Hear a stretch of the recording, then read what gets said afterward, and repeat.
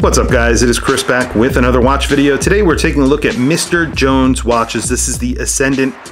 This watch uh, is an automatic. They make a bunch of different watches in quartz and automatic, a bunch of different types of movements. This actual watch has a painted dial. It's painted onto the underside of the glass all of their watches are uh, they tell time in a different way in either a jump hour mechanism or they have discs inside the watches that actually display the, the time in a different manner than your traditional way of hours minutes and seconds. Uh, just a really interesting watch brand making very interesting watches. The outer box is uh, just a drawing of what looks like a uh, drawing that's inspired by the circus of sideshows and things like that the box itself is made out of a composite, sort of a composite wood cardboard.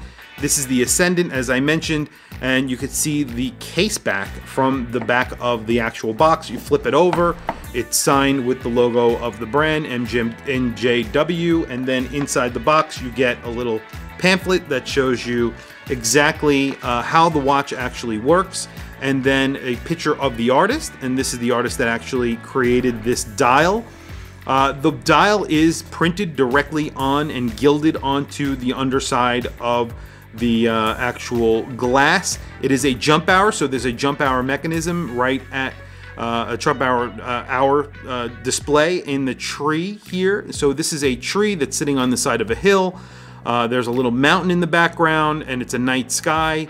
You have uh, the leaves of that tree and then uh, with that little jump hour right there in the center of that tree. This watch is obviously inspired by Japanese art, I would say. Uh, the artist, I don't know, is actually either Japanese or not. However, uh, beautiful dial here, and we're going to look at it right now. This is a 37 millimeter watch. It has a 46 millimeter lug to lug, so it is a pretty decently sized watch. It's not a uh, insignificant watch for for a unisex watch, and that's what they describe this as. So it definitely wears. It could be worn for uh, you could if you're a man or a woman, you could definitely wear this. Uh, and because of that 46 millimeters, it does wear uh, pretty substantially for the 37 millimeters. So I think it's very nice. And you can see that dial is gilded. It is. It has metallic uh, paint to it. It is also printed. So there's printing and gilding on that dial and it's all done on the underside of the glass and then behind that there is discs that display stars and a little crescent moon. That's how you tell the hour, the uh, minutes.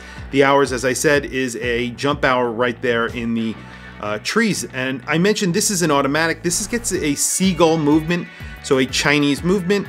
This is assembled in London um, and the actual seagull movement is the ST1721, so a pretty good movement in here for the price, especially considering the price, $275. So you're getting uh, a really good uh, automatic watch for $275. Uh, the seagull movements in general, I like seagull movements. They're extremely, extremely affordable and they're decently made movements that come out of Asia.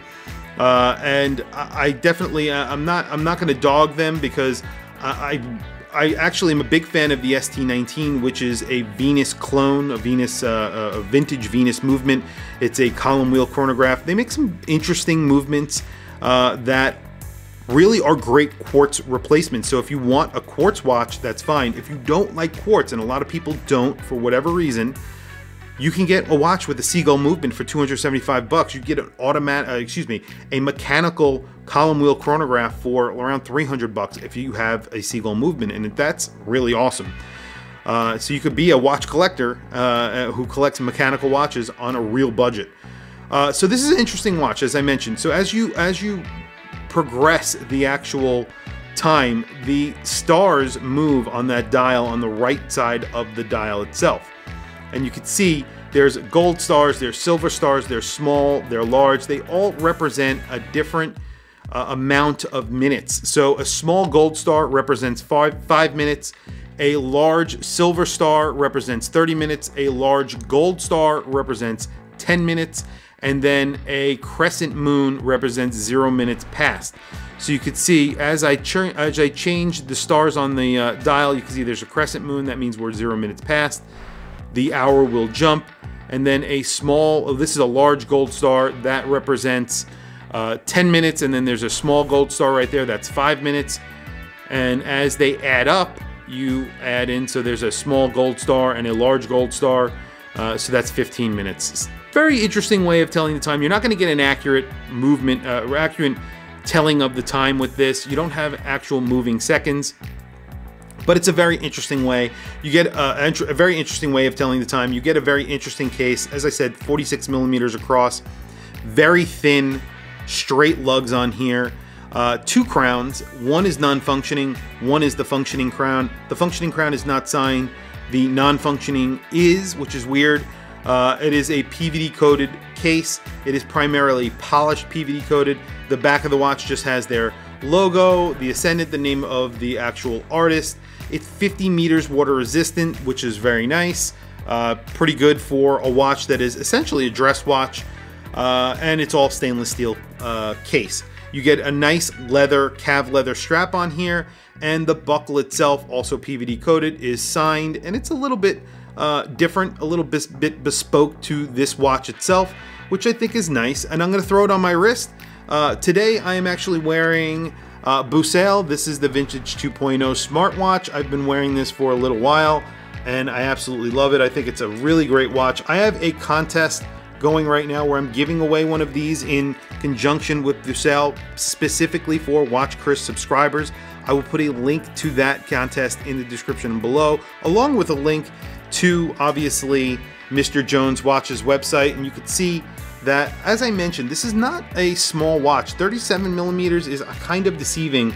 Uh, it definitely wears like a 39 millimeter watch, as you can see on my six and a half inch wrist, uh, seven and a half inch wrist, excuse me it wears pretty decently and it does not feel like a small watch whatsoever.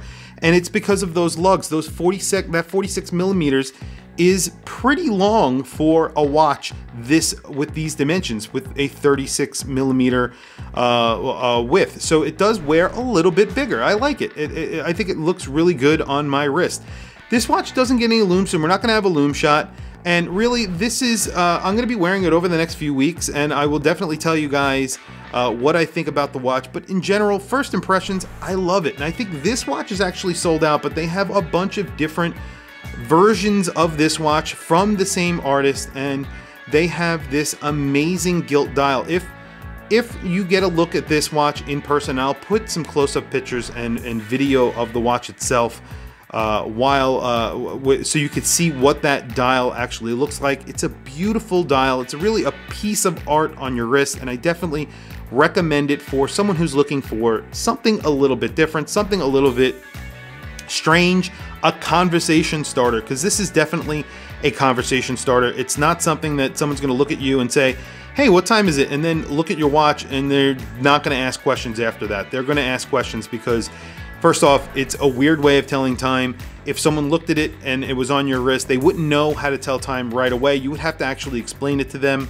Uh, so it's a very interesting uh, way of telling time. It's also automatic and it's only $275.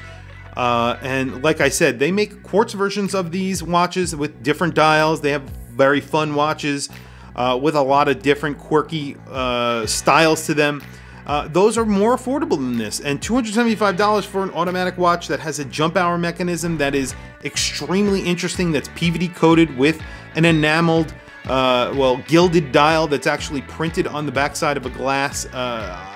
All of these add up to a very interesting watch and a very affordable watch considering the specs. Anyway, tell me what you think of this watch in the comments below. As you know, I try and bring you guys very different watches on a very regular different on a very regular basis. And uh, I believe that this is something very different, something very special. Uh, please also follow me on Instagram. My Instagram is WatchChrisBlog. Uh, please like and subscribe to the Watch Chris channel here on YouTube. It is super helpful. Uh, please hit that bell notification if you haven't. Uh, it's very helpful for the channel and much appreciated. I have a bunch of links in the description. Those links are to Amazon. If you click those links and you buy anything, it doesn't have to be one of the watches that I have linked to. It could be anything. It goes to help supporting the channel. It doesn't affect your Prime benefits or cost you anything extra uh, and it is much appreciated. Anyway, thank you for logging on, and I will see you guys in the next video.